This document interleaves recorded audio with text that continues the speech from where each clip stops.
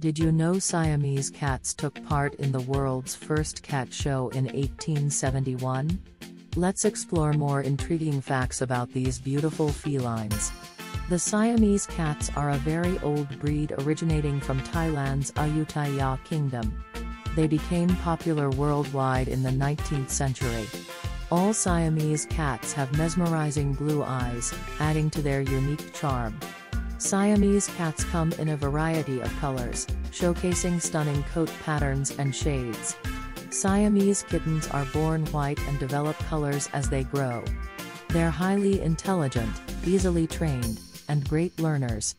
Living 8 to 12 years, weighing 6 to 14 pounds, Siamese cats have left an everlasting impression on cat enthusiasts globally.